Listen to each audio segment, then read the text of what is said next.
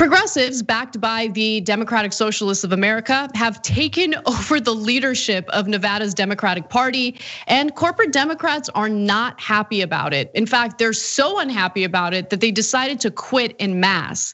So um, on March 6th, as reported by The Intercept, a coalition of progressive candidates backed by the local chapter of the Democratic Socialists of America took over the leadership of the Nevada Democratic Party, sweeping all five party leadership positions positions in a contested election that evening.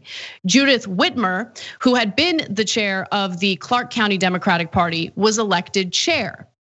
Now, uh, the party's executive director, now former executive director, Alana Mounce, sent an email uh, making clear that everyone on the small staff had resigned, including the party operations director, communications director, research director, and finance director.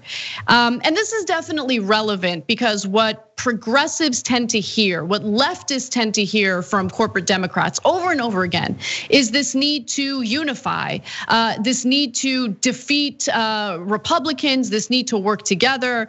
Uh, but when push comes to shove, when the power dynamic shifts a little bit to the progressives' advantage, seems like they're not that interested in unity.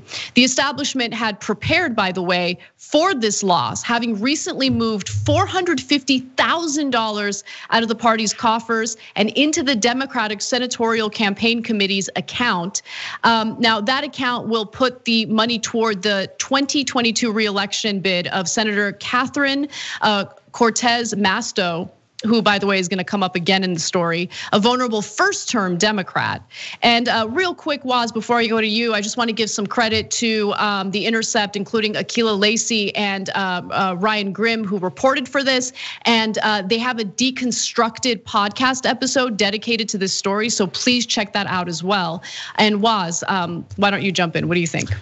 Man, you know, my favorite part of the story, Ana, was it said the groups angling for change from the left were trying to divide the party while they were trying to save it.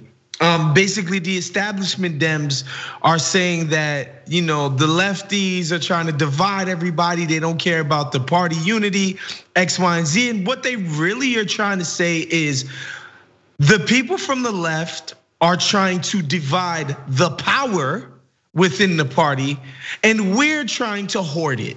That's it. And the fact that they're no longer able to hoard all of the power and all of the influence within the party um, is a joke. And you know, at, at later on in the story, Ana, they talk about how they didn't like the Whitmer lady because she she she crushed some type of diversity initiative or something stupid like that. But again, establishment, corporatist Dems absolutely never talk about diversity when it comes to people on the left. They never wanna diversify in that way. They never want a diversity of thought, a diversity of approach, a diversity of, hey man, maybe we should try to serve people instead of corporations at some point um, in all of this while we have the power. They never wanna hear those voices in the room. And so that's why it's hilarious that they always try to throw out some wokeness, diversity, unity crap whenever they get smacked up. And you know, I'm somebody who got a lot of patronizing tweets, a lot of patronizing texts, quite frankly, from some of my more centrist type minded friends when Bernie lost. Yes, yes, from the normies. Well, I mean, your little radical left experience didn't work. Why don't you guys fall in line and start doing the the proper work of working with the party? You guys can't take your ball and go home. And then of course, that's exactly what establishment Dems do. As soon as they get their butts whipped, um, they take their ball, they go home. And you know, I kind of respect the gangsterism of even giving yourself severances while quitting. Normally you get a severance for getting fired. These homies said, no, no, no, no, no. We're giving ourselves severances for quitting. That was kind of gangster, I respect that. No, no, you know, I love that you brought that up because it reminded me of um, like a party in a marriage who knows that they're about to want to file for divorce, but they get their finances in order, right? Like they move the money to an offshore account. You know what I mean? Yeah. Like they, mm-hmm. they, they get the ball rolling before the announcement is made, you know, because like they moved like nearly half a million dollars out of the coffers into like the, uh, you know, the arm of the Democratic Party that's going to help that senatorial race. Um, and they, you know, they paid themselves the severances. You're right. Uh, very, that is very gangster, as you say. Um, but look, if if Democratic operatives and corporate Democrats don't pay themselves. Like, what else would they do? Like, I don't really, I don't really understand. Um, but I love this statement from uh, Judith Whitmer, who's now the Nevada Democratic Party chair. She says, "We weren't really surprised in that we were prepared for it, but what hit us by surprise was sort of shocking. What's sort of shocking is that for a slate that claimed that they were all about unity and kept this false narrative of division going on." On throughout the entire campaign. In fact, they kept intensifying that. That's what was surprising about it was the willingness to just walk away instead of working with us. And some of you guys might be wondering, okay, well, how did they do this in Nevada? Like, what was what was the um, underlying uh, spark, like what galvanized people to uh, really get active and, and, elect these progressives?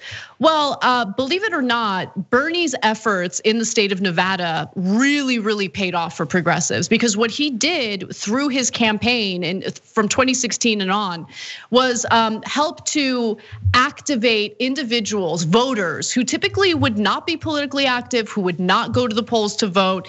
And once you get get people fired up. And you give them hope, give them something to vote for, well then they get involved. And that's that's what really played out in nevada especially with the latino vote. And uh, wouldn't you know it corporate democrats don't have a chance as soon as you activate those people. So yeah lots of, lots of good news. it's it's awesome to see people on the left get organized and professionalize their efforts and their campaigns, right? Um, it's one thing to do your little mail-ins and your callers and your commercials, but actually being on the ground, knocking on the doors of of you know rank and file Democratic Party voters, and you know, and not even just people that are already in the party, but activating people who establishment Dems completely ignore because we know they only care about soccer moms. Um, just you know, finding new people to energize your faction is is just incredible. And again, they're doing stuff like being more targeted.